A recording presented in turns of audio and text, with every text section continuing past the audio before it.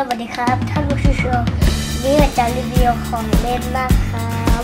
อ่าเป็นของเล่นที่เรายืมมาจากน้องอะไรครับ น้องปันปันน้องปันปันนะครับ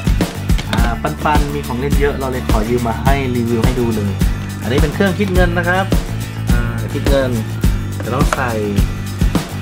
ใส่ถ่านก่อนนะฮะแต่ว่าถ่านเราไม่มีก็ดูแบบนี้ไปก่อนแล้วกันนะครับอ่าอันนี้กดกดกดบวกเลขใช่ไหมฮะแล้วคิดตังค์ ตัวนี้เป็นแถบยิง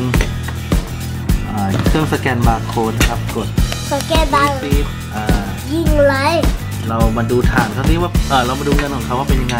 คำว่า open นะครับอ่านี่เงินของเขาเราจะใช้ซื้อแลกเปลี่ยนนะครับ